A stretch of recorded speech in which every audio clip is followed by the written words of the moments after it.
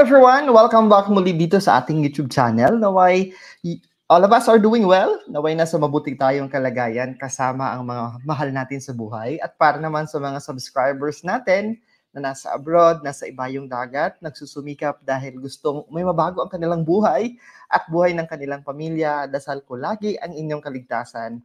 Muli maraming salamat sa patuloy na mainit na suporta, sa walang humpay na suporta po sa inyo.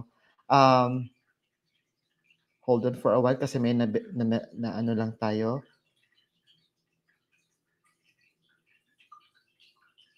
Taka lang.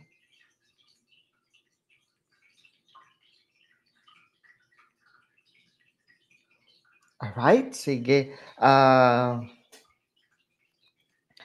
Maraming salamat po sa lahat ng mga nagpaabot ng kanilang mga mensahe, sa kanilang ah, nag-abang ngayong araw na ito. Uh, shout out to Ma'am Mami Ninita More. Maraming maraming salamat for always uh, nag-aantabay. Kay Mami Mar Mami Lynn Rowe, have a wonderful Sunday po sa inyo. It's a Palm Sunday. Sana po ay nakapagsimba po tayong lahat. Kay Ma'am Cecilia Risa Cruz Exconde, hello po. Maraming maraming maraming salamat po. Kay Ma'am Ami Duarong, happy Palm Sunday, a blessed Sunday po. Kay Mami Barbara, hello po. Magandang magandang gabi po sa inyong lahat. And of course, na nasa malayong lugar, uh, tulad ni na Mami uh, Lane and Mami Ninita, they're all abroad. And uh, kasama na dyan ang isang masugid nating taga-subaybay na nasa Belgium naman, si Mami Bernardita Trinidad. Maraming maraming salamat for joining me tonight and maraming maraming salamat for your generosity in sending your support para sa mga bata sa Bahay Ampunan. Maraming salamat po, okay? Um, maraming maraming salamat po sa isang solid supporter din natin na nasa Japan, si Ma'am uh, Mukha Mukha mo. Maraming maraming salamat always, always po.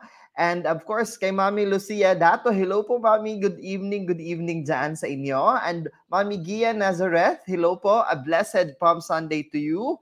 Maraming salamat po at nandito kayo lahat, sinamahan niyo ako. Maraming salamat na always kayong naka, nakaantabay.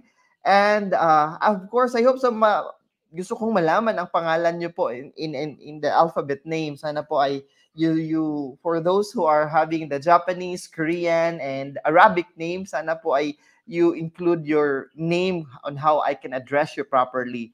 And shout out also to Ma'am Hendrix Lakar who's watching live from Kuwait. Maraming salamat. Ma'am Mary Benlot, maraming maraming salamat po for tuning in ngayong gabi. And kay Ma'am Susan Bibit talaga naman. Si Ma'am Susan Bibit, walang bitawan yan. Ilang taon na yan. Always support me in all social media platform. Maraming maraming salamat po. Good evening kay Mama Corazon Go who's watching live from Taiwan. Um, maraming salamat din po kay Ma'am Tess Sarmiento and shout out to Ma'am Tess Sarmiento who's also watching us live right now. And si Ma'am Huli Dakipel, maraming salamat. Good evening, good evening everyone. Huwag kalimutan i-share ang link ng live natin para naman mas marami ang makapanood marami ang maabot ng coverage natin, maging wider yung coverage natin, ensuring the knowledge na mayroon ako, ensuring the talent na mayroon ako, at mas marami pa ang mabigyan natin ng gabay, mas marami ang mabigyan natin ng pag-asa, mas marami ang mabigyan natin ng heads up, and mas marami ang makapaghanda, most especially when when it comes to uh, the arrangement sa bahay nila, uh, when it comes to feng shui guide na kinakailangan nila please do not hesitate. I-share nyo po yung link po natin para po ay mas marami always ang makakapanood sa atin. At ngayong gabi, ang pag-uusapan natin ay Feng Shui Living Room Tips, yung sa mga sala naman natin. Ano ang mga pwede at hindi pwede natin? Ano ang mga dapat at hindi dapat natin gagawin sa arrangement natin? Take note that Feng Shui mainly focuses on the flow of the energy. At yung arrangement ng mga muebles, ng mga dekorasyon natin ay may malaking epekto sa flow ng energy sa ating mga living spaces, sa ating mga living room. Okay, so natapos na tayo dun sa kusina, natapos na tayo dun sa bedroom, natapos na dun tayo sa lagayan ng bigas, ngayon dito naman tayo sa mga living room spaces natin, yung mga sala natin. In fact, for mga exclusive members natin, natapos na rin ako magbigay gabay sa mga tamang direksyon for period 9. Ano yung mga masuswerteng lokasyon ng mga tahanan? Ano yung mga tahanan na kailangan mag-renovate, ilipat ang kanilang mga pintuan at bintana? Kasama yan sa topic ko sa exclusives natin dito sa mga members natin, exclusive members natin. At natutuwa po ako dahil naman po ay uh, umabot na tayo ng 285,000 subscribers. 285,000 subscribers na po yan. Um, hold on po, meron lang po akong i-reply because uh, I'm trying to reply everyone pagpasok kasi ng Lunes Santo bukas ay magsisimula na po ako ng tinatawag natin na um, internet detoxification, internet fasting. Isa yan sa ginagawa ko every Holy Week. Kayo po ba, ano po ba yung mga, uh, ano po ba yung ginagawa niyo when it comes to Holy Week? Uh, can you share it to me? I-comment nyo naman po.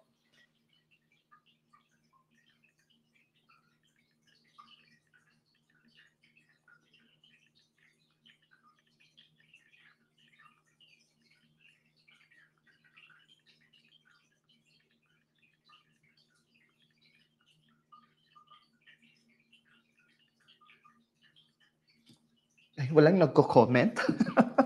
Parang wala akong kausap dito, nakakahiya naman. Yan, um, for, for the information of everyone, ako, um, kung wala, dahil nawala yung uh, pagninilay natin, yung seven last words of God, so na pagninilay natin, um, so ang mangyayari niyan ay I'm going to turn off uh, kung 100% uh, ng oras ko sa 24 hours, sabihin natin, malaking porsyento ang ginugugol ko na uh, scrolling social media, watching mga YouTube channel, nasa internet ako nakababad. Pag pumapasok po ang Holy Week, talaga namang nasa 50 to 30% na lang, ah, actually 40 to 30% hanggang 20% na lang yung paggamit ko ng um, internet. Okay? So mayroon akong tinatawag na internet fasting. Meron akong tinatawag na detoxification sa internet. Yan ang ginagawa ko. Dahil, lalo na ngayon na hindi na matutuloy yung the seven last words of God na pagninilay natin. Uh, I'm saddened. Um, masakit para sa akin kasi last year nagawa ko siya. It's just this year na hindi siya nagawa. Uh, but of course, I, I'm still hopeful. Pinagdarasal ko yan na sana po sa next na Holy Week next year ay um, maging posible po yung uh, commitment ko to do the seven last words of Jesus Christ na pagninilay. Yep, yung iba yan. I'm receiving na comment. So, may may iba, sabi ni Mami Lucia, fast with meat po. Okay? So, kasama din po ako dyan that I do also fast meat. Uh, meat. Hindi nga lang hindi nga lang ako nagfa-fast ng ng meat. Talagang nagfa-fasting ako. Uh, ang nangyayari sa Holy Week ay parang one meal a day to two meals na lang ako. Uh, talagang uh, it's like 15 hours na fasting talaga. Todong-todo na fasting yung yung ginagawa ko. 15 to 16 hours of fasting yung ginagawa ko on every Holy Week po. So hindi lamang po sa internet na fasting, uh, kasama na dyan yung the meal. Talagang I, I involve also that one. Okay? And um, yan, mostly daw nag attend sila ng church activities. Yan, maganda yan. Nung bata pa ako, very, very active ako sa church. Uh, nasa, papasama ako sa choir. And always, always, nung maliit pa ako, yung lola ko talagang binibit-bit ako sa church. This time, I minimize myself simula nung pandemic na it's too risky to be in a big crowd. Mini-minimize ko na yung uh, sarili ko on involvement sa church Um, kaya ginagawa ko yun, uh, fasting sa internet, uh, at the same time fasting sa food. Uh, tapos, sabi naman ni Mami Barbara ay yung nagbabasa uh, ng banal na pasyon. At mara- I'm happy, I'm happy na patuloy pa rin yung mga kababayan natin na yung kultura ng nagpapasyon ay still alive. And I hope so na mapasa natin yan to the next generation. Uh, sabi naman ni Mami Lynn, uh, nagdarasal sa tahimik lang, ako nanonood ng movie about Jesus Christ, okay? Yan kadalasan ng mga ginagawa natin, uh, malalong-lalo na yung mga kababayan natin na nasa malayong lugar, um, nasa ibang bansa because very minimal yung they can do visita iglesia, very minimal yung church or malalayo yung church, walang masyadong ganun eh. At sabi din, din ni Mami Lynn ay eat lighter foods. Yun, kasama yun. Talagang mini-minimize natin, kinokontrol natin. Ah, ito, si Mommy Mercy, si Ma'am Mercy, talagang nag, uh, ano siya, umiikot siya ng mga simbahan. So that's the Visita Iglesia, yung pag-ikot natin sa simbahan. I do the Visita Iglesia 7 church po to represent the seven last words of Jesus Christ. Others naman do 14, depende po ano po yung nakasanayan ninyo. Si Mami Ninita sabi niya, uh, for myself, start Ash Wednesday, nag-mortify ako, no rice until Easter Sunday. Done uh, we do that discipline and that commitment. Isa na rin yan sa pamamaraan kung saan we're showing na uh, nagsisisi, nagsisisi tayo sa sa mga kasalanan natin. That's why we put a burden into ourselves. Okay? Um,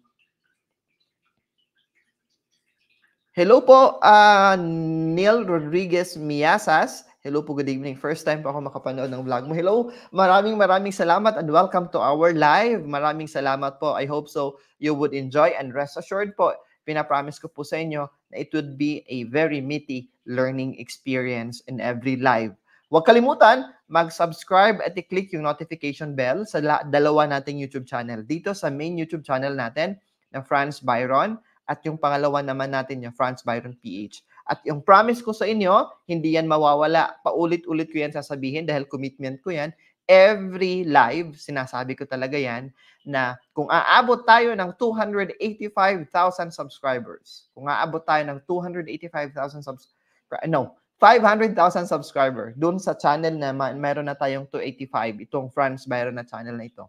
Kung umabot tayo ng 500, half million uh, na subscribers, ang mangyayari is magkakaroon tayo ng face-to-face na New Year Festival sa taong 2025. That's next year. So face-to-face ako na makikita ninyo on the stage, magbibigay gabay at mag magkakaroon ng one-on-one consult consultation about feng shui kung enough yung time natin. But of course, in general context, magkakaroon ng mga ritual activities dun sa venue. So iba yung venue for Luzon, Visayas at Mindanao. Kaya stay tuned patuloy nating palaguhin yung YouTube channel natin para maisakatuparan natin yung pinagdarasal ko na sana ay mangyari. Okay?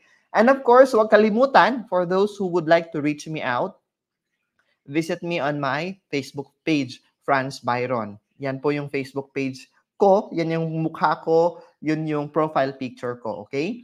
Yan po, yan lang po ang hahanapin ninyo if you want to reach me out and if you want to communicate with me. But for now, for this Holy Week, narinig nyo kanina, I am doing an internet detoxification. Ibig sabihin, I am going to limit myself. I am going to limit myself in using my my social media, in using and the internet. So yun, isa yun sa ibabawas ko sa nililimit ko po yan pag Holy Week. Kaya hindi, actually, wala na akong masyadong nire-reply. Okay? So pagpasensyahan nyo na, isa yan sa naging commitment ko every Holy Week. Sana po kayo din. So ito po yung uh, Facebook page ko po ha. Ito yung Facebook page ko. Ito yung pagmumukha na hanapin ninyo. Ito yung timeline photo na hanapin po ninyo. Okay? Uh, post natin ngayon. Yan. Because it's Sunday. That's five hours ago. Sabi ko, kneeling to pray will give you the strength to stand up. Yung pagluhod natin, dahil pinagdarasal natin kung ano mang kailangan nating ipagdarasal, lumuluhod tayo dahil nagpapasalamat tayo will actually give us strength. Ang prayer is the most powerful thing that we can do and ang prayer ang isang pinakamahalagang bagay na pwede natin gawin na libre pero may sukli. Di ba? Ang pagdarasal ay ang libre na pwede natin gawin. Patasahan nyo yan. May sukli. And of course, I have also posted kaninang umaga, that's nine hours ago, ang meaning, okay, ang, ang bakit tayo nagse-celebrate ng Palm Sunday for us na mga Roman Catholic. Okay? But then again, Feng Shui is not religion. Okay? Kaya welcome po lahat dito because Feng Shui is not religion. And by the way, uh, taka lang ha, ah, kung maaari po lamang, yan, nag, may hinahanap po ako dito. Hold on po. Ito, kung uh, humihingi po ako ng tulong po sa inyo, kung maaari po ay mabisita niyo po ito. My sister is uh, establishing a training center para sa mga teachers natin kasi ang PRC, the, uh, yung license ng mga teacher, di ba, kailangan nila ng CPD units pag magre-renew sila or yung mag apply kailangan ng points that they can earn. So, kailangan nila mag-attend ng mga training and seminar na may CPD units. Okay? So, my sister establishing that one. And para mas marami po ang uh, maabot na information, um, although pinaprocess pa yung business permits at lahat-lahat, uh, please po, follow this page po. Sa lahat ng may anak na teacher, may kakilala na teacher, lahat naman tayo, may mga teacher na friend, uh, may kamag-anak na teacher, you can have this training center, Realizing Opportunities and Nurturing Achievers, R-O-N-A. So tinawag siyang Ronas Training Center because it's realizing opportunities and nurturing achievers. Ito po yung um, CPD Training Center na in-establish ng kapatid ko, yung bunso kong kapatid. And uh, yun po, ito po ay magbibigay ng mga trainings and seminars kung saan ang mga certificate na makukuha ng mga attendees ay may kaakibat na CPD units kung saan magagamit nila ito for promotion, for renewal, at for those na nagpaparank or nag apply pa lamang ng mga teacher. Okay? So, please po recommend and follow this page. Um, sabi niya, Kuya, if you can promote this on your live, please naman po, okay? So sa mga manonood mamaya-maya ng konti, just hanapin niyo na lang po itong Realizing Opportunities, Nurturing Achievers, or RONA, Ronas Training Center. Yan po ang training center ng kapatid ko, a CPD uh, training center para po sa mga teachers po natin. Para hindi naman kayo mahirapan when you renew kasi every every uh, renewal kailangan ng you have earned as a PD units. Okay? So please visit po that Facebook page and help uh, help us po. Okay? Help us uh, na mag-grow po yan. Okay? And be a member, yun na nga. Sabi ko be a member because uh, yung mga live ng mga exclusive na mga members, if you wanted to learn higher, higher na uh, learning about feng shui, higher level about feng shui, higher understanding about feng shui, uh, that's something that you have to join our exclusive membership po. How? Just mag-ikot lang naman kayo, okay? Ikutin nyo. Uh, mamasyal kayo sa loob ng face uh, bakit tawag Facebook ng Facebook? Sa loob ng YouTube channel natin, makikita ninyo yan. How to be a member po, nandoon po. Okay? So, uh, just click that one. Id- idadalhin na po kayo dyan kung ano, will you be a gold, a silver, or a bronze member? Nasa sa inyo na po iyon. Okay? And uh, I will be announcing later at a time ano ba yung mga exclusive pa na mga topics. So sinimulan natin ng uh, New Year Festival, New Year exclusive, okay? Na, the New Year expect spectacular exclusive at every member po ay uh, ginagawan ko po ng Chi-Men chart in which mas maiintindihan ninyo po yung forecast ninyo for this year po. Yan. So be a member. And um, although mag, magiging uh, matumal yung paggamit ko ng social media pagpasok na bukas, bukas mismo. Kaya wala tayong live on Biyernes Santo, uh, Sabado de Gloria at Easter Sunday. Wala tayong live kasi pasok pa siya sa Holy Week. So, because kasama yan sa detoxification ng social media na gagawin ko. But of course, on Webe Santo, okay? talagang uh, ko ng paraan na matapos yung pag-edit ko ng Visita Iglesia. Okay? Kasi Webe Santo, i-upload natin yung Visita Iglesia, virtual Visita Iglesia para po sa mga kababayan natin na hindi makakapag-Visita Iglesia dahil nasa abroad sila, nasa malayong lugar sila, nasa trabaho sila. So this will be our my commitment at it has been my commitment simula nung naging active ako sa YouTube.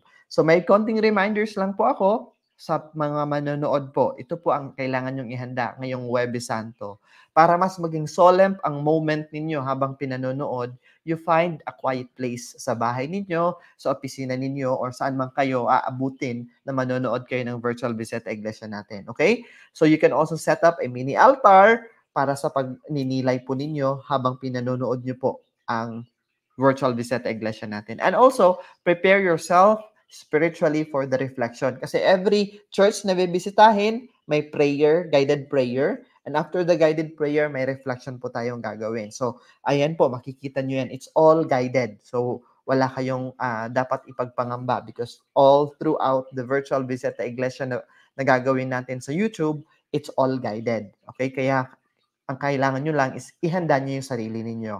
Although it will be a virtual, kahit po ito ay virtual, uh, inaanyayahan ko po na sana po ang mga dadalo at mga manonood, please wear a proper outfit po na parang nandun talaga tayo sa loob ng simbahan. So please, uh, yung kung paano natin hinahanda yung sarili natin, kung paano natin, uh, paano tayo magbihis kung pumapasok tayo sa simbahan. The, the actual, sana po, yun din po ang gawin natin. Sorry. Sana po, yun din po ang gawin natin when we watch the virtual Viseta Iglesia because that's the purpose of the virtual Viseta Iglesia. So, uh, yan lang po yung konting reminders ko. So, watch that one.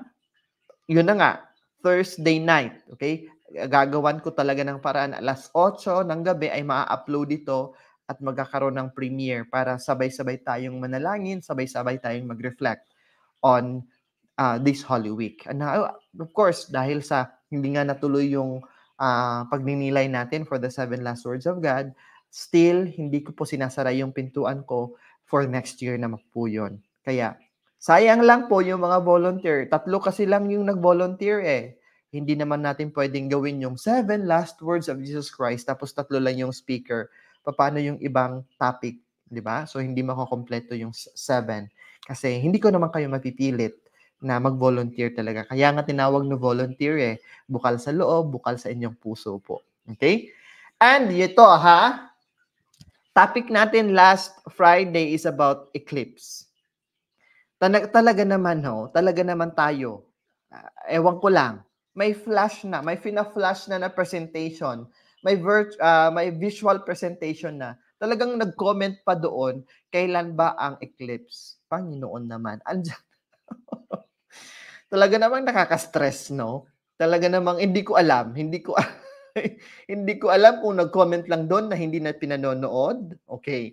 So ulitin ko, uh, there will be an e-, eclipse tomorrow, okay? Tomorrow, uh, na, yung ibang bahagi ng mundo, mararamdaman nila at makikita nila yun on the 24th. But in the Philippines, that's between 24 and 25. So we are expecting that one tomorrow. Kung anong oras, yan po ang hindi ako specific. Kaya may nag-comment anong oras po, uh, ulitin ko, hindi po ako specific. Okay? Kasi hindi naman ako uh, meteorologist. Please follow the page ng mga DOST, ng pag-asa, ng mga meteorologist official Facebook page, pa, at even the uh, mga media platform kasi sila ang makakapagbigay ng specific time kailan mawi-witness yung uh, eclipse na yan. And April 8, that's the total solar eclipse ng buong mundo. Pero sa Philippines, partial eclipse lang po ang mararam- mararanasan natin. There will also be on September 17, uh, that's a partial lunar eclipse in the entire world. And on March 13 uh, and 14, that would be on uh, 2025 na po. Okay? So, um, yan po ha, inulit ko lang po kasi talagang may nag-comment pa doon. Uh, just, uh, you can check. You can check kung sino yung nag-comment doon. Sabi ko, bakit pa nag-comment? Meron naman akong Filinash na presentation. Kompleto naman yon Okay? O ulitin ko ha, o ulitin ko. For the time, sa oras po, yung anong ba ang oras? Ano ba ang oras ng mangyayari ang um, lunar eclipse, total eclipse, or anong klaseng eclipse man yan. I am not specific, I'm not particular. Mag-search po kayo kasi all the the research I've been doing, hindi siya nagbibigay ng definite time. Kasi yung binibigay niya yung time frame ng iba't ibang bansa. Iba't ibang bansa, iba't iba naman tayo ng oras, di ba? So ang oras natin sa Pilipinas, iba sa Hong Kong, iba sa US, iba sa Australia, iba sa New Zealand. So please take a look into and follow yung mga gagawin po, yung mga gagawin, uh, yung uh, follow the pages, the Facebook pages, and tune in po sa mga television and TV networks po para po ay makikita nyo yun. Makikita nyo yun. Bago ako magpatuloy, gusto kong mag-welcome sa bagong member natin, si Ma'am Edith Diaz, bagong YouTube member natin. Ma'am Edith, please message me. Um, I need your date, your complete name, your date of birth, buwan ng kapanganakan, araw ng kapanganakan, taon ng kapanganakan, at oras ng kapanganakan. I need that information para po ay makompute ko po yung achievement chart po ninyo. Okay? But of course, hindi ko yan magagawa this Holy Week. Babalik ako and be active on my social media after the Holy Week po. Kaya expect po na for the entire Holy Week, wala kayong kristal na makikita na ipopost ko on social media at wala kayong um, magiging magiging matumal yung interaction ko sa social media, okay? At of course, bago ako magpatuloy, gusto kong magpasalamat kay Mama Lynn for always supporting all the way for the generosity. May all the blessing that you're praying for be answered by the Almighty po, Mama Lynn. Thank you, thank you, thank you so much talaga for always being that generous. And may your generosity um, give you a, a never-ending blessing na kahit na yung hindi mo hinihingi ay maigay, maibigay po sa inyo. Okay? So, um, again, For the eclipses, I have given gabay. Nagbigay ako ng gabay, naghindi ng pananakot. Okay? Hindi ako nananakot, but I'm giving heads up at kaalaman na dapat hindi tayo ma-expose, dapat hindi tayo um, lumabas kung maaari, kaya i-search nyo po anong oras specifically para po ay you can have the precautions, you can have the paghahanda in as much as possible. Okay? Nasa sa ating mga kamay po ang paghahanda. Of course, wala namang sa pilitan. If you believe, then wala namang mawawala. If you don't, nasa sa inyo na po yun. Okay? Nasa sa inyo na po yun. Okay, so diretso na tayo sa do's and don'ts uh, pagdating naman natin sa mga sala natin, sa mga living spaces natin. Isa sa pinagkakagastuhan natin, ha? Isa sa pinapaganda natin. Sa bawat tahanan na binibisita ko, talaga namang we invest more time din na dito tayo nakatambay. We invest more time din na dito natin ini-entertain yung mga bisita natin. And we invest much of money na kung ano yung mga nilalagay natin na pandekorasyon, halos every after two years, bumibili tayo ng bagong sofa and sala set, uh, nag invest tayo ng mga mamahalin na paintings, nilalagay natin because of our living room. In fact, kung minsan, ang living room takes also a bigger space. Malaking space ang in, uh, nilalaan natin sa living room kaysa sa kusina, di ba? So, we have to understand also that the energy that is active and dapat active sa, sa living room natin, sa mga sala natin, is the yang energy. Kung ang bedroom natin is our room to rest, at dapat ang mas malakas dito ang yin energy, opposite naman yung living room natin. Our living room should have the, the enhanced yang energy. Kaya yan ang pag-uusapan natin. Okay. Maniwala kayo sa hindi, our living spaces, our living room has a direct impact on our overall well-being. Okay? Sa buhay natin at sa mga buhay ng mga taong nakatira sa loob ng tahanan na yan. Kung gaano natin inaayos ano yung arrangement natin sa living spaces natin, ay may malaking impact sa pang-araw-araw na nangyayari sa buhay natin. And, uh, tingnan nyo po ito, okay? I don't know if you have observed, okay? May ibang energy kung bisita ka ha. I don't know. Co- comment kayo dito if you agree, if you disagree, if or you have an experience the same with me. Na pagpasok mo pa lang sa sala, mararamdaman mo na ang how warm you are welcome. At pagpasok mo lang sa sala pa lang, sa sala pa lang ha, mararamdaman mo na kung malakas ba yung young energy na sinasabi ko. Okay? The good energy na, na young energy. Same as well with our lobby ng mga hotel. Kaya naman, yung mga hotel owners, kasi lobby are just like in our house, sa sala yan, di ba? Yan, sala yan. So yung mga lobby ng mga hotels natin, ganun din ang treatment ng mga negosyante. Kaya they would hire feng shui expert, feng shui practitioner. Talagang feng shui nila yan, yung arrangement ng mga furniture dyan sa mga lobby ng condo unit, ng mga hotel. Kaya talaga namang napapawaw kayo, 'di ba? Nasa hotel kayo, napapawaw kayo at makikita niyo maaliwalas, yung flow ng ng traffic talagang maganda yung mga paglalakad ng tao, yung pagkakaposisyon ng mga sala set. So it's the same thing sa mga sa mga sala natin sa bahay natin. Kaya uulitin ko, 'di ba pagpasok pa lang natin, pag may binisita tayong tahanan, whether it's tahanan ng ating kaibigan or tahanan ng ating kamag-anak, 'di ba? We feel a different environment. We feel a different vibe, okay? Depending on what purpose we wanted to reflect, okay? Kasi may mga theme naman tayong fina-follow sa bawat tahanan natin, 'di ba? May theme na parang uh, very antique dahil ngayon yung bahay nila is luma. May theme naman is very very summer, 'di ba? Very island feel. Ganon. Ah uh, Mayroon naman tayong mga modern approach. Yung bahay, pagpasok talaga, very modern, di ba? Glass, yung even the sala set, modern yung painting, may mga ganon. So, depending on what theme are you following, may mga basic rules tayo sinusunod sa feng shui. At yan po ang ibibigay na gabay ngayon ng live natin. Okay? So first, dapat set natin yung intention for that space. Ano ba yung intention? Ano ba yung purpose and intention natin? Bakit ginawa natin yung sala set na ito? Bakit ganyan kalaki yung couch, yung sala uh, yung living room natin? Bakit ganito kalak kalawak yung living room natin? Bakit tayo naglagay ng ng console table or coffee table sa sala set na yan?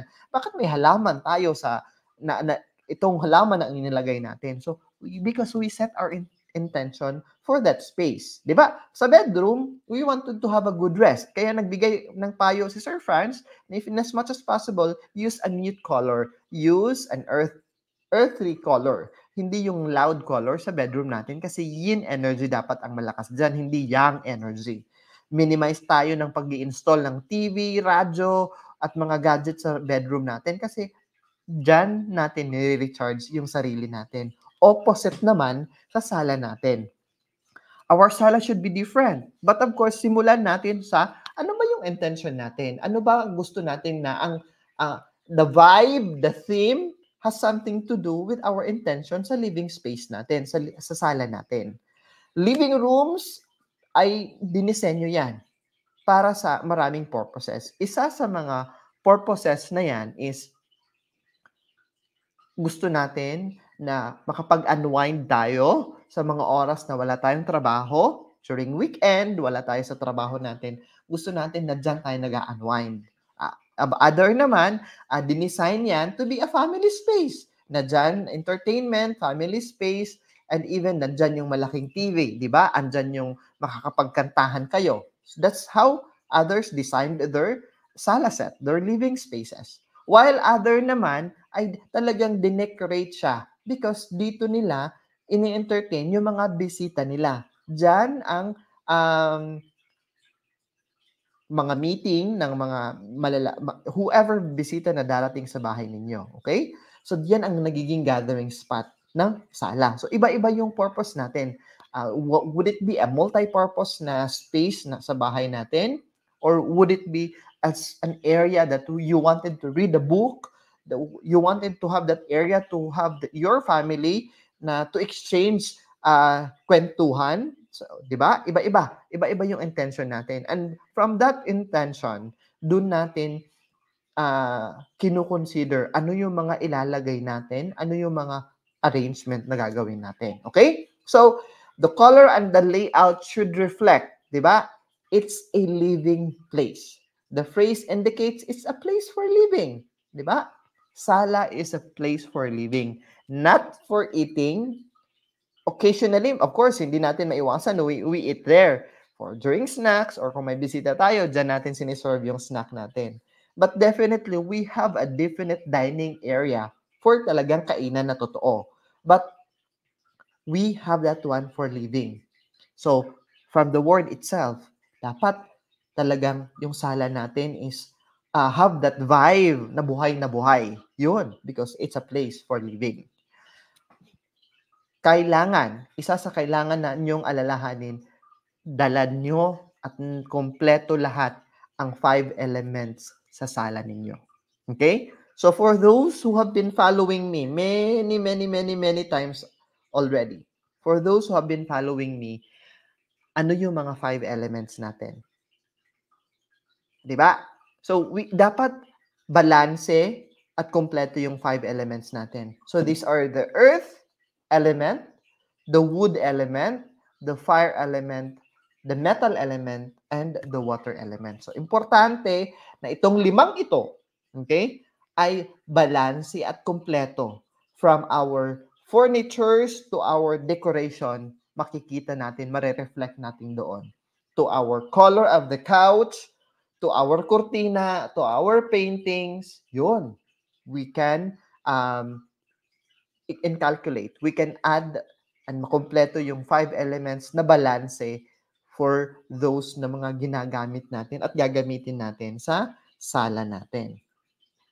Choose also colors, textures, and shape ng pinag-iisipan. Hindi yung, ah, lagay ka lang ng lagay dyan, uh, bili ka na, kasi maganda. Okay? Take note and be careful also na most especially for those antique collectors, ha?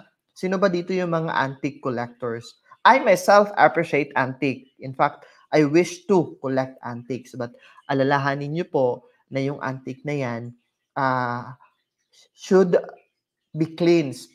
Should dapat mainitan ng araw, mahanginan, bago ipasok sa loob ng tahanan. And whatever brand new things, whether it's brand new or second hand, bago ipasok, bago ilagay sa mga sala natin, and even our bedrooms or dining area, dapat munang pinahanginan, uh, kinikleanse naturally, bago yan ipasok sa mga room natin. Because iba-ibang tao ang nagbuhat niyan, humawak niyan, that could have transmitted the energy nila. Iba-ibang tao ang pinanggalingan niyan, iba-ibang warehouse ang pinanggalingan niyan. That could have bring uh, negative energy. So kailangan mo nang papahingahin sa labas bago ipasok. Ilang minutes, few minutes to an hour is good enough. Okay? And of course, kung ma, sa mga taga-subaybay natin dito, I always have in our uh, monthly, daily feng shui calendar activities. Kasama doon yung kay, nag-a-advise ako kailan ang magandang petsa na mag-install ng mga furnitures, na mag-install ng mga appliances. Okay? So it has something to do also that you need to consider. Uh, ikutin, mamasyal kayo dito sa YouTube channel natin. Sa loob ng YouTube channel natin, makikita nyo ha, para sa mga bago pa lang. Okay, with this pattern, with these textures, ito po ang guide na pwede kong ibigay sa inyo. For the earth, for the earth color, that's low, mga medyo mababang furnitures, square or rectangular furniture to ground the space natin. Warm earth tones like brown, gold, yellow, even though clay, mga clay uh, clay na mga na mga pangdekorasyon and uh, geometric patterns, mga pottery and porcelain materials represents earth. And even a sala set, di ba? A sala set na uh, although may foam siya, but the frame is brown and wood, that itself is an earth color. And say for example, a painting, yung frame ng painting is uh, gold or a wood, that itself signifies is the earth element. While the wood naman, something that is tall with vertical lines. Okay? And it could also be a shade of green, a botanical and floral patterns, or it could be alive, buhay na halaman, or even a tall, matangkad na furniture. Like, uh, ano bang furniture na pwede nyong ilagay dyan na medyo matangkad that could represent actually wood. Okay? So, vertical lines, anything tall, a shade of green, uh, botanical and floral patterns that you can make use are representing wood. Yung floral patterns, di ba, we can have those pillowcases, lalong summer na ngayon, as floral pattern. And of course, malalaman nyo mamaya na it's also must. It's a must to place or to put into consideration ang paglalagay ng buhay na halaman sa mga sala natin. While the fire element naman, ito yung mga triangle shape. Ito yung leather materials natin. So it could be your sofa na leather or it could be a piece of chair na maganda na leather. Animal prints could be a floor rug or a floor carpet. Okay? Uh, yung mga ilaw natin, yung mga kandila natin dyan. Okay? Any spike objects or abstract painting ay nagre-represent ng fire. Basta balance lang. Huwag masyado na yung sofa mo na napakalaki is already leather, tapos yung lamp na nahanging mo is parang puro spike, that's over over mag-overpower na yung fire element sa sala ninyo. That's why you have to balance everything. And you have also dapat kasama yung metal. Anything round in shape, those arches, those with metallic colors ranging from a tone of white to silver to gray, and din yung mga makikintab na mga fabrics, and yun, mga circle na patterns. This represents metal element. while yung panghuli is the water element. So, of course, you can have a painting na ocean or beach na that depicts water or a painting of a waterfalls or an actual aquarium. But of course, make sure na always umaandar yung aquarium na yan. Make sure na pag maglagay kayo ng water fountain, umaandar yan, di ba? Kasi pag hindi yan nag-aandar, just remove it or else you are inviting a negative energy. Okay? Um, kasama na dito yung mga irregular curve and shapes that represents water. Kasi di ba yung uh, water has this irregular shape. The ocean-like blue spanning from light blue to a dark blue. Yan. And uh, iba pang material that would rep- represent water would actually uh, represent the water element para mabalanse natin Say for example sa France, mahirap eh, mahirap mag-maintain ng ng aquarium kasi kami always lahat walang tao sa bahay, lahat may trabaho, nag-aaral. So mahirap mag-iwan ng aquarium na nakaandar diyan or else baka mag-overheat yan, di ba? Which is very very practical. So in in replacement with that one, you can make use of uh, a big painting, uh, may waterfalls or the nature with the beach. That's good enough, di ba? That will represent the water. Halimbawa, yung uh, leather na yung upuan mo. Diba? Whatever leather it may be. So you can make use of a carpet na color blue. Uh, with not necessarily na puro blue, di ba? You have the accent na blue or ocean that represents the ocean. That can that can help na mabalance mo yung five elements. And kailangan pag maglalagay tayo ng couch, okay, the biggest chair sa loob ng uh, sala natin, it should be on a command position. Kung, uh, of course, kasi magkakaroon tayo dito ng office feng shui naman. Kasi ito sala. Kung kakaroon tayo ng office feng shui. Sa office, always sinasabi ko, kahit doon sa luma kong vlog, na your sitting position should be in a command position. Your bed sa bedroom should also be in a command position. And your uh, couch in our sala should also be in a command position. Ibig sabihin, kung ikaw ay nakaupo sa sala na yan, kung ikaw nakaupo sa office chair na yan, or kung ikaw ay nakahiga sa, sa, sa bed na yan, madali mo makikita yung pintuan, lalong-lalo na yung main door. That's what we call command position. Yung hindi ka nakatalikod sa pintuan or yung hindi mo nakikita yung pintuan. Okay? So that's a command. So, an ideal furniture na pagkaka-arrange natin, na pagpasok mo, magigreet ka talaga ng sofa. Hindi ibig sabihin pagpasok mo sofa diretso, no? Not necessarily. But pagpasok mo, makikita at mapapansin mo agad yung sofa. Uh, they are ideally placed na ang sofa, take note ha, ang sofa ay maganda or best na ito'y inilalagay na yung likod is dingding hindi bintana, nor hindi rin yung open space sa likod. It should be, yung likod nito should be wall. Na pag ikaw ay nakaupo, ibig sabihin you are on a command position. The same as well with your office chair. Pag nag-o-opisina po kayo, pag pinagpili kayo ng lugar sa opisina, make sure na yung office chair mo, ang likod niyan is wall. That that uh, that represents protection a sturdy protection for you and for the people sa bahay ninyo because your couch, wall ang nasa likod nito. Okay. Ngayon, Sir Franz, paano yan? Eh, yung arrangement namin sa sala, mahirap na yung ano namin, yung sofa is wall eh. Parang wala. Mahirap eh kasi it's an open space yung, yung sa amin. Uh, maliban lang sa mga window-window na yan, eh, diretso naman kasi sir, window eh. Mahaharangan yung window kung maglagay, maglagay kami ng sofa. Say, say for example, or halimbawa lang na yung sa, sofa ninyo, ang likod niyan is an open space heading to the dining area or heading to another bedroom, di ba? Malawak na space or parang daanan yung likod niyan. The best thing that you can do is to use large furniture behind your sofa to have that support na kinakailangan. So, ano ba yung mga big furniture na pwede natin gamitin? It could be a console table na sa likod. Okay? Malaki siya. Or it could be a buffet table, a buffet cabinet na sa likod siya. Okay? that will create a support in an absence, in an absence of a wall.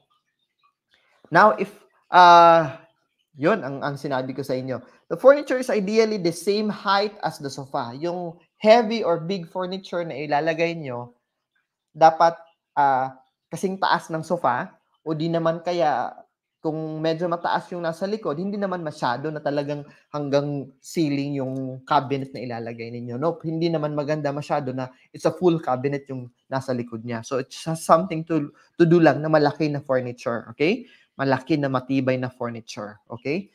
Para uh, yung sofa mo hindi galaw ng galaw. Pag may umuupo, umaatras. Pag may umuupo, gumagalaw siya. So to have it steady and to have it a support sa likod nito and create a seamless sense of flow. Yung pagkaka-arrange natin ng mga sala natin at yung mga furniture dyan sa loob ng sala natin ay dapat hindi yung may nakaharang, hindi yung prone na may mababasag, hindi yung hindi makagalaw yung mga tao. So make sure that you can create a seamless flow na from the main door na papasok at may upo, from the sala na may pupunta sa kusina, hindi siya hindi siya pahirapan. So that's creating a, uh, a seamless flow. It can be as simple as being able to walk through the living room with ease um, or maintaining an, an attractive, yung clutter, clutter-free, hindi magulo na living space. Kaya,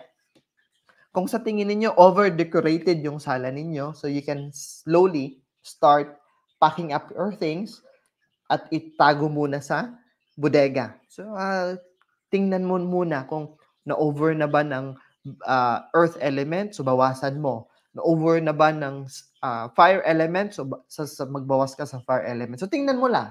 Tingnan mo lang yung sala mo ngayon. Kung ano ba yung elemento na parang sobra na, yun lang muna ang itago ninyo. Okay? Hanggang sa umabot yung panahon na ma, may right time na pwede na mo, mo, mo pwede mo nang magamit yung uh, furniture or accent or yung pang-display na yan. And mahalaga rin po na balance yung lighting natin. And in as much as possible, I would always, always encourage at napakaganda tingnan for a living room, for a sala na malaki yung mga bintana. At you allow the light on the daytime na makapasok sa mga sala natin. Hindi lamang yung light, but including yung tinatawag natin na yung air na makakapasok sila freely from the window. Napakaganda yon. It will really bring a good energy and a positive energy sa loob ng tahanan natin that will transmit at matatransfer yan sa mga taong nakatira dyan. Huwag kayong mag-alala. Okay? So, kailangan na maliwanag masyado on the daytime, enough and sufficient yung light. Pagkadating naman ng gabi, it should also be uh, enough yung pailaw natin. But of course, masama naman yung sobrang liwanag. Kasi pag sobrang liwanag, ibig sabihin natin na sobra naman yung fire element natin. So, to have it a balance, so you can have a different level of lighting. So, na kung may cove light ka na dyan, sa ceiling mo, di ba? We have the may chandelier ka na dyan, huwag ka nang mag-turn on ng cove light. Let the chandelier be the light dyan sa taas. And kung sa baba, if you have a different height na lampshade, depending on the mood na isi-set mo, mas maganda. At mas maganda rin, if yung light mo, alam mo yung ma-adjust mo from a dim to a brighter one, maganda yan. Para naman ay, kung sobra masyado yung liwanag, ay mababawasan nyo. Okay? Mababawasan to have it a little bit romantic na hindi madilim. Okay? And ito, kailangan nating gumamit ng mga halaman para sa pangdekorasyon. Okay? So, uh, and with that, mayroon tayo mga specific plants na kailangan gamitin. In fact, natutuwa ako nung pandemic kasi umuso yung mga plantito at plantita, di ba? Ang nangyari nga lang ay sumobra na parang mga jungle na mag-jungle na yung uh, ano natin, yung mga bahay natin. 'Di ba kailangan nating balansehin yung limang elemento? Pag napakarami namang halaman, anong elemento ang nag-overpower sa sala natin? So, hindi naman yun maganda. So, it needs to balance. Kailangan uh, minimal at balance sa bawat isang elemento. So, ang plant kasi represents the wood element. Okay? At ang wood element ang sumisimbolo ng growth, ng vitality, at healing, paggaling. In other words, nagbubuga sila ng bagong buhay sa room natin. And hindi lamang yan, they also cleans. In science, plants cleans yung klase ng hangin na mayroon sa loob ng tahanan natin. And even sa labas ng bahay natin, it's a must for us to have plants outside kasi this will be the control point ng pollutants na papasok sa tahanan natin. At pagpasok sa mga sala natin, when we have plant, it will also control any pollutants na pumapasok. So, ano yung magagang, magagandang tahanan? A rubber plant could be, a golden photos could be, a bamboo, a lucky bamboo could be, yan. Yung mga halaman na pang-indoor na medyo soft yung mga edges, yung mga round na mga shape, maganda yan. Huwag lang kayong maglagay ng mga halaman na matulis at matunok uulitin ko, wag na wag magpapasok sa loob ng sala and sa loob in general, sa loob ng bahay ng matunok at matulis na mga halaman. So avoid that one. Kahit na yung mga nagpo-produce ng flower, eh maganda naman yung flower, Sir Friends eh. I can ang ganda-ganda ng bougainvillea, most especially on summer season, talaga namumulaklak yung bougainvillea. Can we put it inside? No. Kahit gaano pa siya kaganda, sa labas lang po siya. Okay? And make sure po ha, na binabantayan niyo po yung mga halaman na pinapasok ninyo.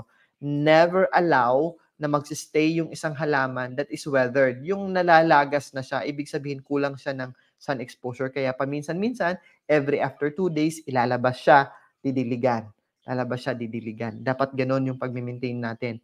And mga moms and sirs po, mga daddy and mommy, mga aunties and titos, never, I'd never uh, encourage you to put fake plants, fake flowers. In as much as possible, walang katumbas ang fresh na mga halaman. An orchid can also be placed inside, ha? Mga ma'am, yes, an orchid can be placed. Uh, may mga thorny orchids, just avoid that one. But yung mga orchids that are, most especially those are producing flowers, napakaganda yan. It's really um, brings good luck and it brings it represents prosperity. So you can have an orchid also. At paminsan-minsan ilalabas nyo siya and then pasok ulit, labas, pasok ulit uh, just to maintain that one. A freshly arranged flower. Of course, kung mayaman ka ha, kung mayaman ka, 'di ba? Pagpasok ng bahay mo, bago pa dumating sa living area, meron kang tinatawag na anong tawag doon? Uh, prior to prior to your living room. Kalimutan ko. It's on the tip of my tongue. It's on my brain. Hindi lumalabas. Uh, foyer. Okay? If you have a foyer, maganda na pagpasok ng bisita ninyo or ikaw mismo, pagpasok mo, there is a, a, a, a flower arrangement, the fresh flower arrangement. It really brings good luck. O may tall na halaman pagpasok mo sa foyer mo, magandang maganda yan. It will really brings good luck. Uh, it could be, tama po Mama Barbara, Mami Barbara, na wala lang siya sa, sa isip ko. So a foyer can be uh, uh, uh, can can be maximized in putting a very good plant. Uh, it could be a lucky bamboo, it could be a photos, okay? Uh, pwedeng nakahang si photos. Uh, pwede rin yung tall na bamboo na pang indoor, basta buhay na halaman, or pwede rin uh, flower arrange na siya or yon o pwede natin. Of course, kung mayaman ka, yet you can really sustain. But pag nalalagas na yung uh, freshly arranged na flowers and leaves, talagang you have to remove that one. Nagtatagal naman siguro, depending on the halaman, nagtatagal naman siguro yan ng about a week. So, hindi ka nun malulugi. Lalong-lalo na kung marami kang bisita and you have an event, I would suggest na yun ang nilalagay natin. And isa sa pinakamahalaga, lalong-lalo na kung yung lugar mo is may gate ka and it's a safe space. Maliban na lang kung yung neighborhood mo is a squatter and alam mong may mga magnanakaw, that's the thing na bubuksan mo lang yung mga bintana mo kung talagang may tao dyan.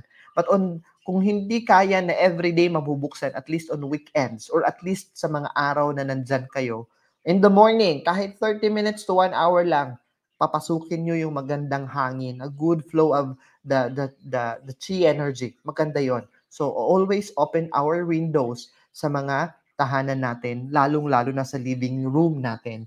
Um, ngayon, dahil uso yung dengue, of course, open the window kahit nakasara yung screen. Di ba, may uso na ngayon yung my screen. Sliding window, yung full talaga yung window nila from from uh, ceiling down to the roof, glass yan, tapos nabubuksan nyo yan. You, you can have a protection para hindi pumasok yung lamok na screen. Still, with that theory, pumapasok pa rin yung hangin. So, walang problema yan. So, okay pa rin yan. And even a jealousy. Gustong gusto ko tingnan yung mga living room na yung jealousy nila halos from hindi hindi nila hindi binarat yung jealousy ganito lang kalaki but almost to the ceiling down to the floor talagang naka jealousy the jealousy would pag open mo talagang pumapasok yung hangin at nauso na rin yung jealousy na sa labas may screen.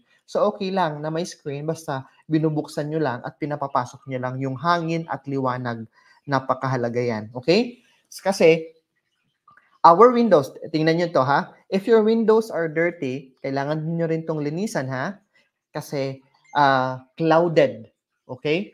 Clouded or binabara ng dumi na sana ang papasok na good energy. Hanggang dun lang sila. So there are impurities na binabara. So maintain also cleaning our windows regularly. Okay. Keep the clutter to a minimum. Um, napapansin ko, karamihan sa atin, na typical Filipino homes, pagpasok, naku, andyan yung lagayan ng mga sapatos, uh, sa likod ng pintuan ng sala natin, may mga nakasabit na mga bag, pantalon.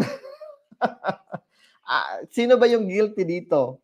Kami dati, no, mga bata pa kami kasi naman, our mom is really a career mom with our father who's into business.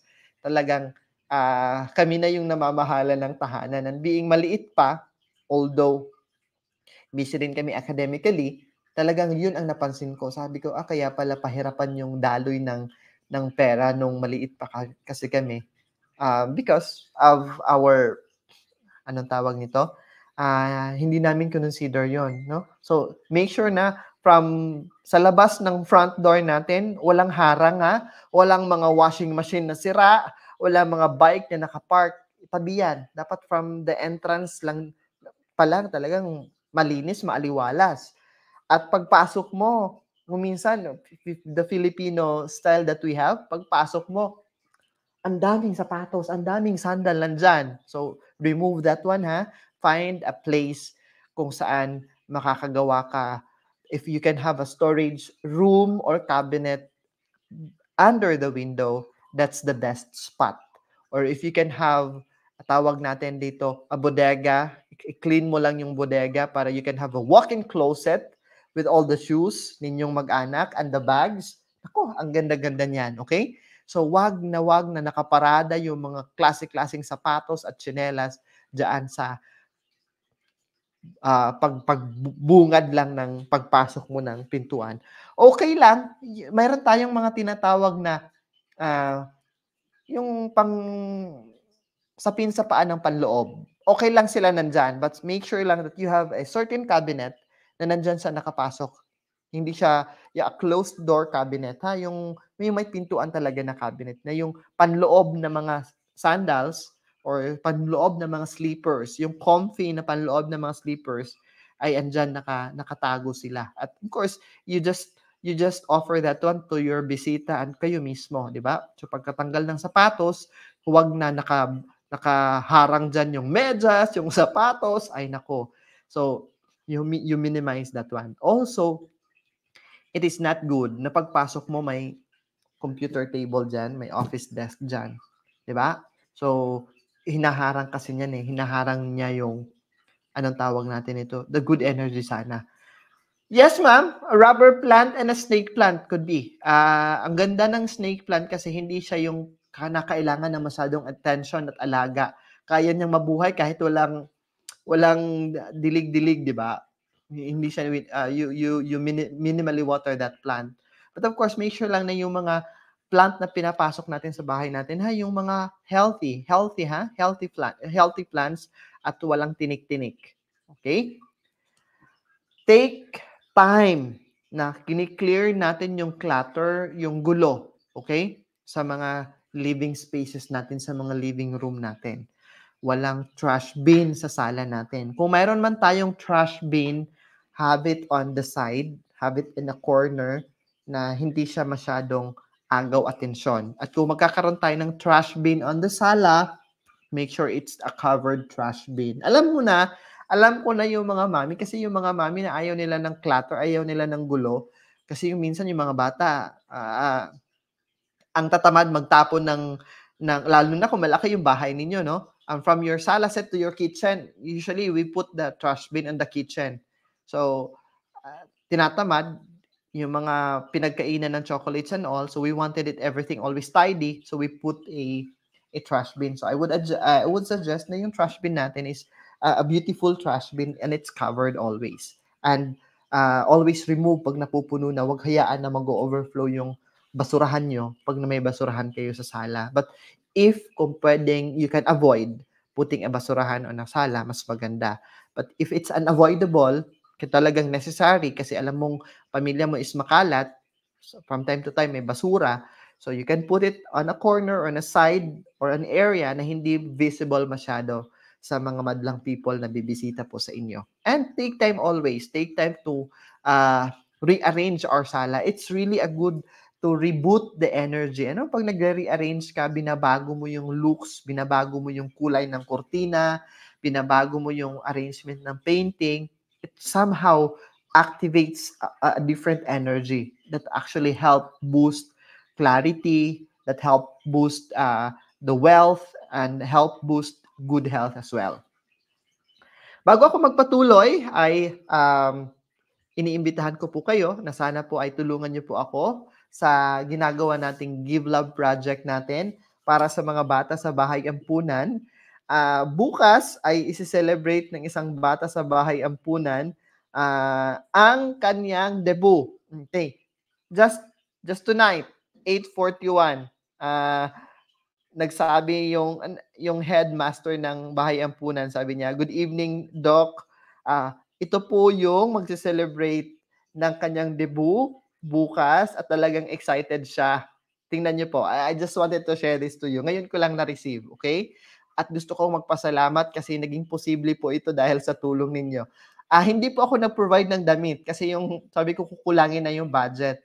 Uh, what we had lang is the venue, the pagkain, the, the live band, the gift, yon uh, the cake, yun ang pinrovide natin. The decoration, ito po siya. Ito po yung magdedebo na bata. Ayan. Kaya maraming salamat po. Maraming salamat po sa tulong ninyo. Ako is excited bukas ng gabi alas 6, 6 p.m. ng gabi, isi-celebrate yung debut ng bata ito sa Bahay Ampunan. Walang mangyayaring 18 roses and 18 candles kasi it would be exclusive for all na bata sa Bahay Ampunan. Kasi ang permit ko po, I have to secure a permit uh, bago sila ilabas. Okay? So ang permit ko po is uh, isa sa mga is checklist doon is dapat walang ibang tao. Because whatever kasi may mga messages may magbibigay ng message. We are protecting ng mga bata na mabully sila kasi nag-aaral sila. They're living in a normal life. Nag-aaral sila sa pampublikong paaralan. Um ayaw natin na mabully sila okay? So ito po ito po yung bata oh excited na siya. Sinend sinend kasi I think uh the DSWD uh not DSW, their social worker, isang dalaga din, is helping her, naghanap ng damit para sa kanya. Kaya, nagpapasalamat po ako sa inyo kasi alam ko na may mission tayo sa mundo. At ngayong 2024, let's make this a mission na possible mission. Okay? Uh, magbigay tayo ng ngiti sa taong hindi kaya tayong suklian yun ang magiging mission natin. And let's activate good karma this year. Maraming salamat po sa inyo. Naging posible po ito dahil po sa tulong po ninyo. Don't worry, ah, magkakaroon tayo ng mga video clips, paunti-unting video clips na ipopost ko during live para makita ninyo ano nangyari during the debut. Okay? Kaya po, sa gustong magpaabot ng kanilang tulong, hindi ko man kayo marireply lahat dahil sa magdi-detoxify ako ngayong Holy Week. Hindi ako masyadong magiging uh, hindi ako masyadong magiging active to answer everyone. Um, dahil nga, distansya ako sa cellphone at sa social media. Uh, magpupuasa ako sa social media and using the internet. Pero patuloy po sana kayong uh, mag, magpadala ng inyong tulong. So we can have, you can send your support through GCash, 0966-996-7691. Or I have a BPI and RCBC account that you can do a bank transfer.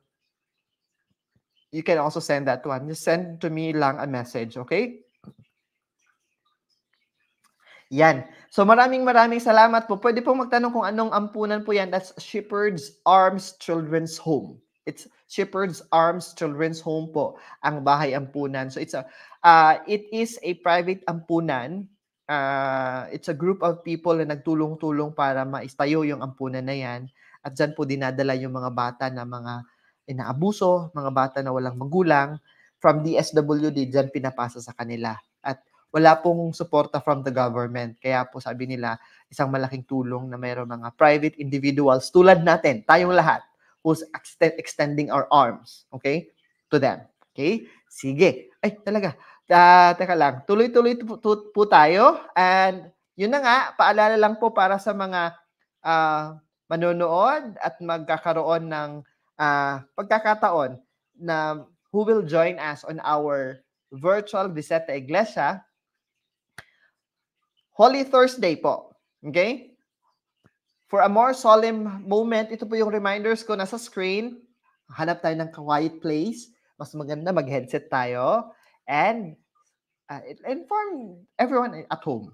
Or kung pwede, isama natin yung buong pamilya. If may meron kayong malaking smart TV dyan, isama na yung buong pamilya. Okay? Set up an altar, light a candle, kung maaari, kung may, may kandila kayo, uh, and prepare ourselves spiritually for the reflection. Yung nung mako-connect tayo, mako-connect natin yung sarili natin sa reflection. Although this will be a virtual activity, pero po, please be in a proper outfit po. Okay, yan. At ito ha, ipa-flash ko ulit yung schedule ng mga eclipses po. Binigay kong payo last Friday, panoorin nyo na lang yung live. At ito po yung mga schedule ng mga eclipse para po ay may heads up po kayo.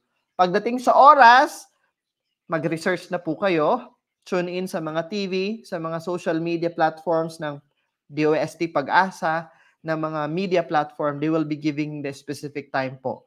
Ako, hindi ako makapagbigay ng time. Nako-confuse ako kasi pag nagsisearch ako, ang information iba-iba. Ang bibigay oras, oras ng India, oras ng New Zealand. So, iba-iba kasi yung lokasyon natin. Iba-iba yung positioning natin sa daigdig na ito. So, iba't iba yung oras na tatama yung lunar, yung partial, yung total eclipse sa atin. So, in general, kahit anong eclipse pa yan, yan ang binigay natin na gabay last Friday na live natin. Okay, let's continue. Ano, dito naman tayo, ano ba ang magandang lokasyon ng mga living room natin? Okay? Ang living room, the the uh, the the, uh, the rule talaga and even the designers and even the engineers and the contractors tingnan niyo na lang yung mga yung mga lobby natin sa hotel nasa likod ba 'di ba pagpasok sa main door sala na automatically. Dapat sala na. Okay? Excuse me. Pinakamalapit sa main door. It's a big no-no. Mga mami, mga daddy, excuse me po. It's a big no-no po na maglagay tayo ng sala natin malayo sa main door. Pagpasok, ang ang pagbungad sa pintuan, ang nakikita is dining table. Pagbungad sa sala natin, uh, pagbungad sa uh, pagbukas ng main door natin, ang nakikita kitchen. No. Uh, for houses po, for for houses na, na grounded houses, yung may house and lot talaga. Yung may house and lot talaga, dapat pagpasok ng pintuan, sala na agad. Foyer, sala. Ang foyer kasi is an extension to the sala. So foyer if may space pa and then sala. That's that's that's good enough. Sir Franz, paano yung condo units? Paano yung mga mga flats? Okay, yung mga bachelor's pad. Ang mga bachelor's pad, kung makikita ninyo, yung sala nila, nandun pa sa loob, nandun sa terrace, nandun sa malaking bintana. Because in the rule of thumb in feng shui, kung saan yung malaking passage ng airway, ng ilaw, dapat nandun yung living room. So it's okay na yung sala natin, pagpasok natin, kasi yung mas malaki yung bintana, mas malaki yung terrace kaysa sa main sa pintuan ng mga condo units, di ba? Nagets po ninyo? So it's it's it's not a problem kung pagpasok ninyo hindi agad sala because we consider na yung front ng door not front ng door, ng front ng house, if it's a condo unit, is dun talaga sa may terrace, yung may malaking bintana, okay? So it's just fine na yung sala is nandoon at hindi agad from the door, okay? Kasi we consider secondary na pinapasukan lang ng energy yung door ng condo unit kasi hindi siya ganun kalaki compared to the terrace and to the window doon sa may living area pag condo unit yung tahanan. Okay? So, but for the uh, house and lot na style ng mga tahanan, magandang maganda na yung and it is advisable na yung main door natin pagpasok sala na agad. Foyer and sala. Okay? So when you enter, uh, ang mag-greet sa iyo is the living room. Okay? The living room is the welcoming space ng ating tahanan. It's a place that you are okay with letting people get inside. 'Di ba? Awkward na awkward na pagpasok higaan agad, 'di ba? It's a public area of the house and it doesn't have much of privacy na kinakailangan kasi uh, it's a public space sa tahanan natin. Kaya ako uh, habang lumalaki ako, whenever I would uh, check in in a, in a hotel, kahit saan, here in the Philippines or abroad, talagang nire-request ko na hindi pintuan agad, uh, hindi higaan agad So I would look for a, a room na medyo may sala pag hotel room. Lalo-lalo na if I have business meetings and may mga visitors akong darating, talagang I would look for a room na hotel room na hindi agad higaan ko yung nakikita because sa rule ko kasi on myself, it's a big no-no na may hahawak or may uupo na ibang tao sa higaan ko because that's my uh, charging place and for me to charge my body, dapat ako lang, okay? At yung kasama ko uh, sa travel na yan. So if it's other people, uh, may mga may mga tao who would schedule for a consultation, feng shui consultation, may mga business partner, may mga supplier akong nakaka-meeting, may mga vlog ako na ini-interview, no? Um, I would usually, typically, pag nagbubook talaga ako ng hotel, it would be pagpasok sa pintuan, foyer or a sala set before my bed. At hinahanap ko talaga yung may partition, may wall between the sala and the bedroom. So yun ang nagiging nagiging nasasanay na ako ng ganyan. And avoid low ceiling. Okay? Iwasan natin na yung sala natin is mababa yung ceiling. Kaya if you are watching uh, mga home raid, mga uh, realtors, yung mga nagbebenta ng mga house and lot, makikita nyo sa YouTube, the modern approach, and I really, really appreciate and I really love, pagpasok mo ng tahanan, super high ceiling, di ba? Talagang they really give space na super high ceiling, big windows, yun.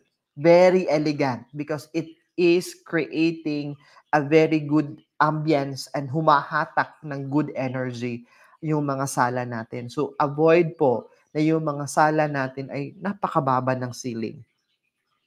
Ah, uh, bakit France? Bakit ba na kailangan nating iwasan? Because it creates a negative energy. It gives a negative energy that makes us feel na parang compress, parang ang liit natin.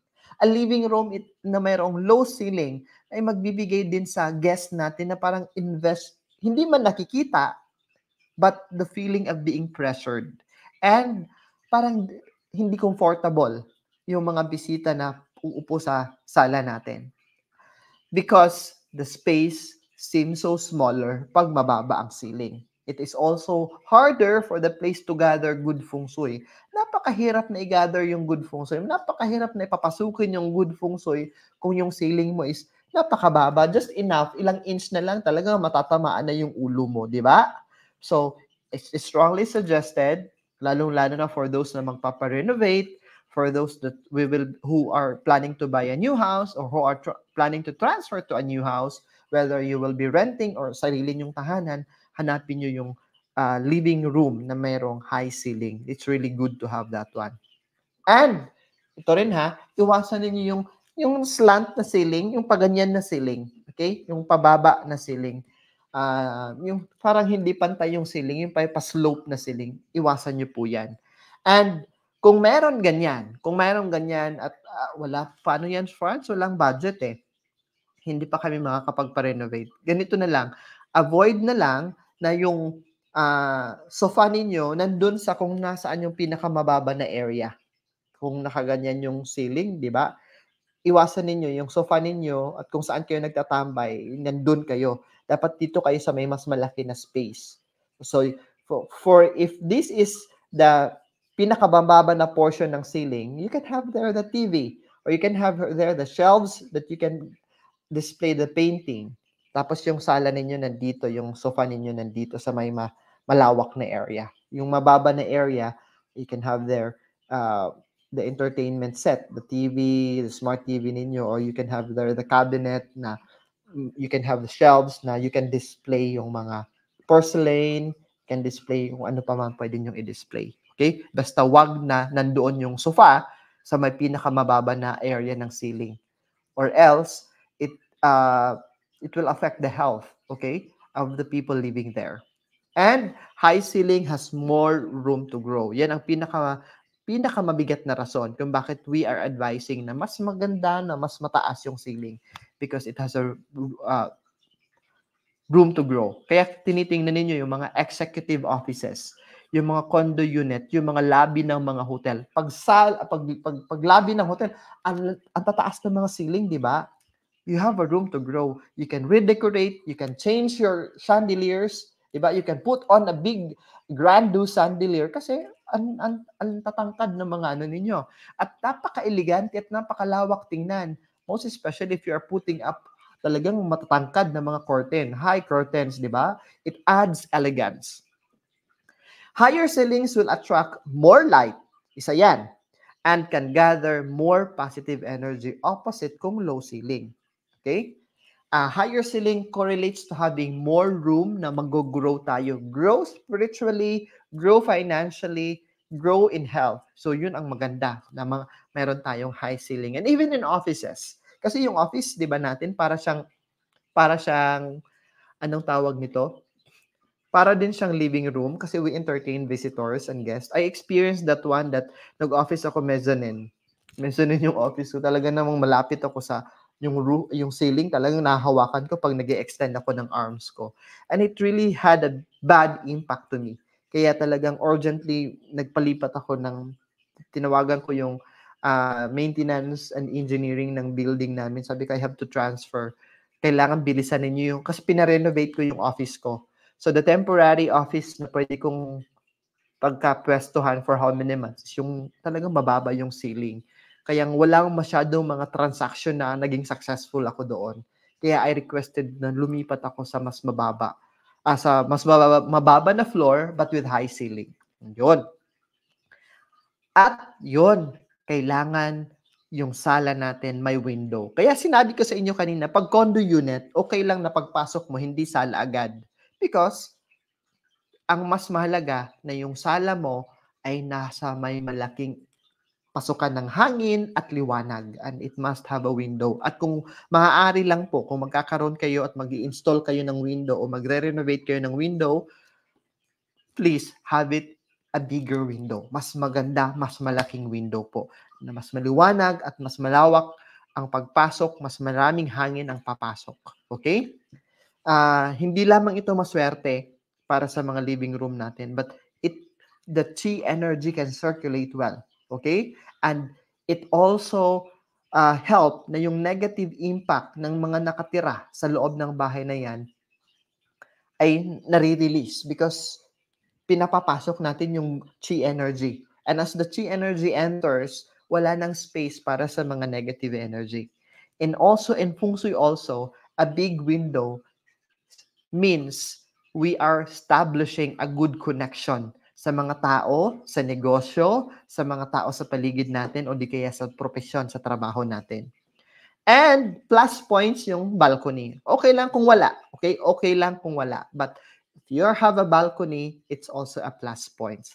A living room, tapos may sliding glass door kayo dyan, heading to a balcony or a lanai. A balcony or a lanai, it is really, really, really good. Okay? That creates uh, and allows fresh air to na pumasok sa main sala talaga ninyo. It's really good. Kaya sa mga magpapagawa ng tahanan, naghahanap ng bagong tahanan, ito yung mga iilan sa mga dapat i-consider din ninyo. Okay? Having a, a balcony also creates a social connection and bring a strong social connection within our community. It also brings more chances of getting help malaki yung chance na makakahanap tayo ng mga nobleman, ng mga matutulungin na tao na tutulong sa atin. Okay? That will also help in our career, in our relationship, and largely our health. Okay? Kaya it's a bonus points kung mayroon tayong, in Feng Shui, it's a bonus points kung mayroon tayong terrace sa tahanan natin. Ngayon, iwasan nyo rin yung may maraming poste sa loob ng sala natin or pillars. Okay? Uh, it's it's a big no-no kung may mga poste or pillars tayo sa sala natin. Because these pillars creates negative energy. Hinaharang nila yung pagpasok ng chi energy. At diyan sa mga poste na yan, ina-absorb naman ng mga poste na yan yung negative energy. Now, if your design really needs to have a poste, please have your poste not in square or yung may corner have it rounded. Okay? Kung hindi nyo maiwasan, if gawin nyo na lang soft yung edges. Make it round or oblongated yung poste. Kung hindi nyo maiwasan, kailangan kasi Sir Francis eh, kasi yung pagka-design nito or else mababawasan yung sturdiness, yung tibay ng building, yung tibay ng bahay. So it is it is a must na may poste dito, dalawa tatlong poste. Okay, fine. Kung may poste talaga, gawan nyo na lang ng paraan. Make it round yung poste avoid na yung likuran ng sofa ninyo is daanan ng mga tao. That's why in-advise ko kanina, lagyan nyo ng console table, lagyan nyo ng uh, buffet cabinet sa likod para hindi siya dire-diretso yung daanan na talaga. Okay? Because if you have a walkway behind your sofa, pinaniniwalaan that you are attracting harmful people. Okay? And magiging mahirap din makahanap kayo ng mga mapagkakatiwalaan na tao. Kaya never allow na yung positioning ng sala ninyo ay open na open sa likod. Lagyan nyo ng isang malaking furniture. Or best yung wall, yung likod talaga niya. Okay? At ito rin ha, iwasan nyo na yung sofa ninyo is may beam sa taas. Okay? Or nasa ilalim ng hagdan. So avoid that position ng sala natin. This concept kasi is having uh, stove or bed under the beam hindi rin maganda, 'di ba? You remember that on my on my content previously, okay? Because it can create issues pagdating sa kalusugan natin. So avoid na beam ito or post uh, malaking poste na naka, nakahiga. That's what they call beam whether it's concrete or wood, still hindi yan maganda, lalong-lalo na kung malaki. Okay? So, kung meron dyan, iwasan nyo na lang na nandyan yung sofa, ilipat nyo na lang. Okay? Artwork should promote harmony. Sa mga nagtatanong saan ba maganda maglagay ng painting, mas mag- maganda. If, if you can see the photo on the screen, di ba, bare yung likod ng salas ng sofa natin, maganda dyan maglagay ng painting ha. But basta it should be harmonized lang. In other words, iwasan lang natin yung mga artworks that bring negative emotion tulad ng kalungkutan, ng despair, or ng anger. Also, uh, maganda na yung mga pictures ng mga yumao natin sa buhay hindi nasa sala. Okay? Because it it it brings sadness, okay? So you find a place kung saan sila ilalagay uh, it could be on a hallway before your bedroom. Nandyan yung mga family picture ninyo or hanap kayo ng wall, not on the sala set. It could be a wall between sala and uh, your dining area kung bungalow house ito. Eh, pero kung may second floor, uh, gawa kayo ng parang uh, family family corner dun sa second floor before sa mga bedrooms. Gawa kayo ng malaking space dyan. You can have a couch there. Doon nyo ilalagay yung mga family pictures ninyo. Okay? Location of artwork and feng shui items ay kailangan din nating tutukan. Okay? Uh, the common area kung saan natin pwedeng ilagay yung mga paintings natin is on the wall right behind our sofa. Magandang maganda yan. Or even on our foyer. Kung wall yan, maganda na uh, pagpasok natin, it's a foyer. Maganda may painting dyan na malaki.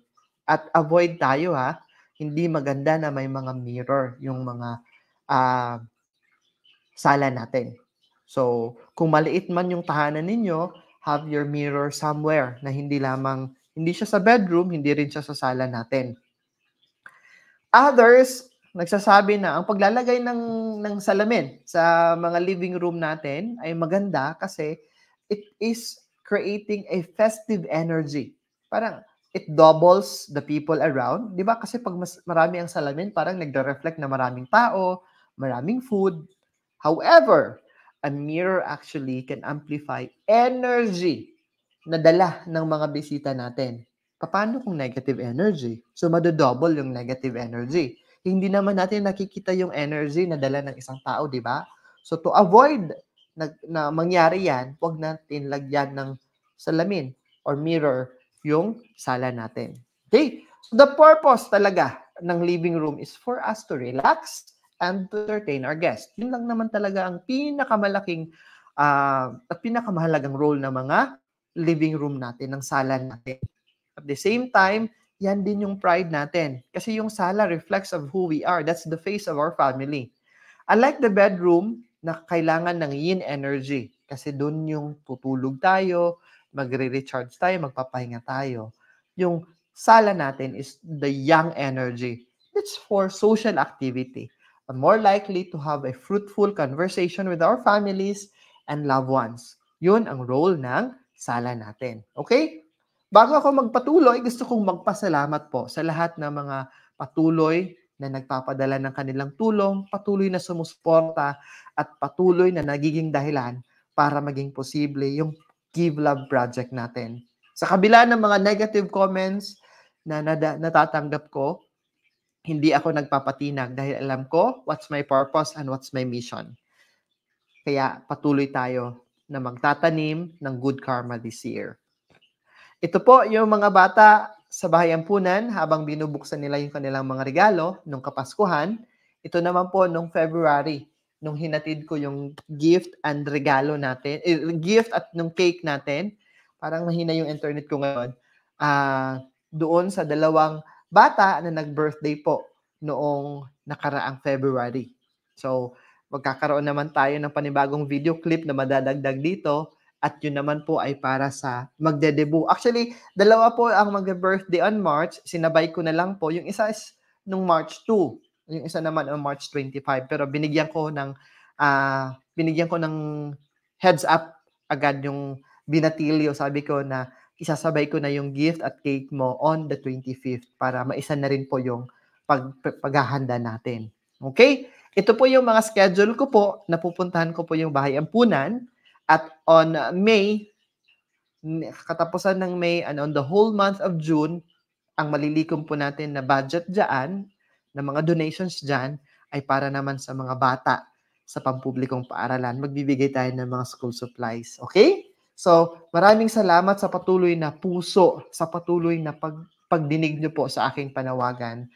Kayo po ang malaking dahilan kung bakit patuloy akong nakikibaka para sa mga bata. Patuloy akong lumalaban para sa mga bata.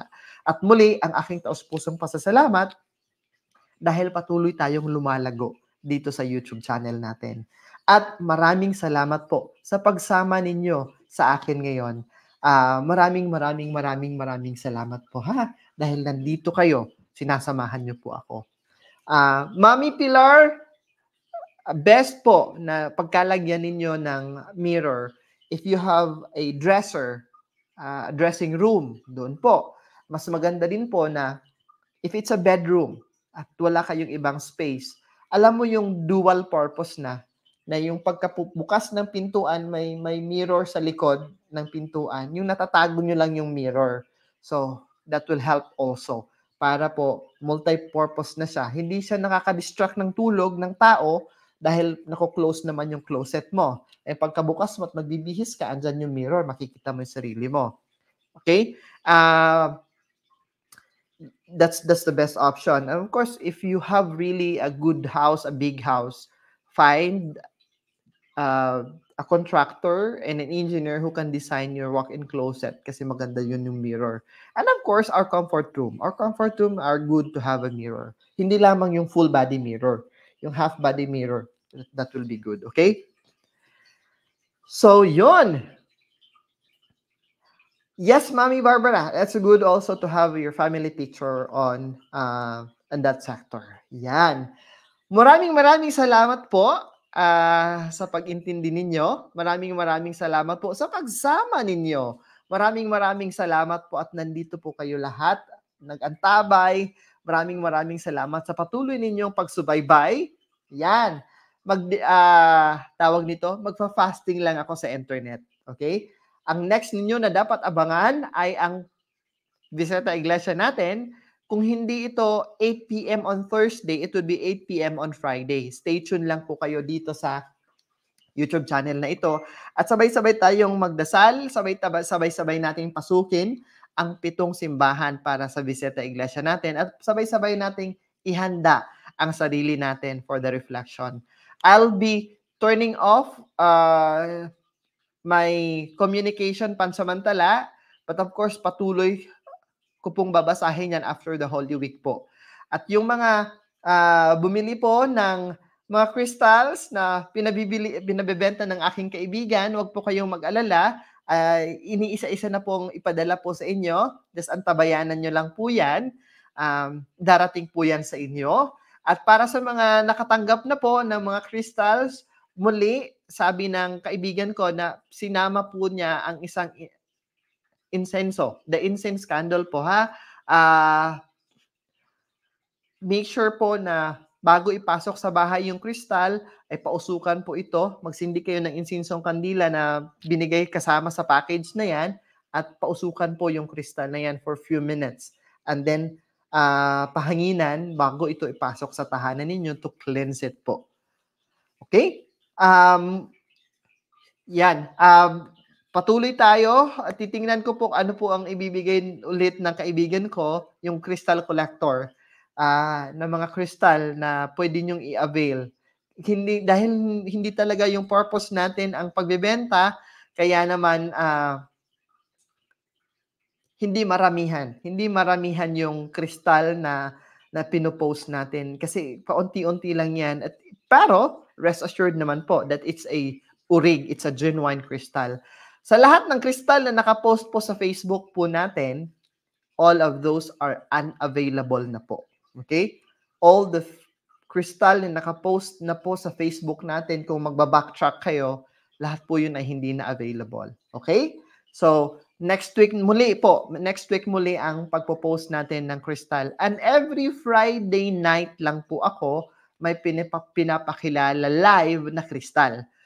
While Saturday and Sunday, depende na yan kung meron siyang ipa, biglaan na ipaki, ipa, ipa, ipapabenta na kristal. But kung, kung hindi, every Friday lang po tayo. Yan. So muli, maraming salamat sa pag uh, panonood ng mahigit isang oras tayo nagsama. It's 1 hour and 30 minutes, almost 40 minutes na po. Okay? Uh, dasal ko na sana ay magkaroon tayo ng peaceful and safe na Holy Week. Sana po ay uh, gawa natin ng paraan na yung long weekend para sa mga nasa Pilipinas, long weekend for the Holy Week will be a, a, a day and uh, oras for us to reflect and to rec- reconnect with our Creator. Muli, maraming maraming salamat sa inyong patuloy na pagantabay, patuloy na panonood, at lalong-lalo na sa inyong patuloy na pagmamahal. Kita-kita tayo next week para sa live natin ha at this coming Thursday or kung hindi Thursday ay Friday, para sa ating virtual Visita Iglesia. I love you all! Ingat po kayo always. Bye for now!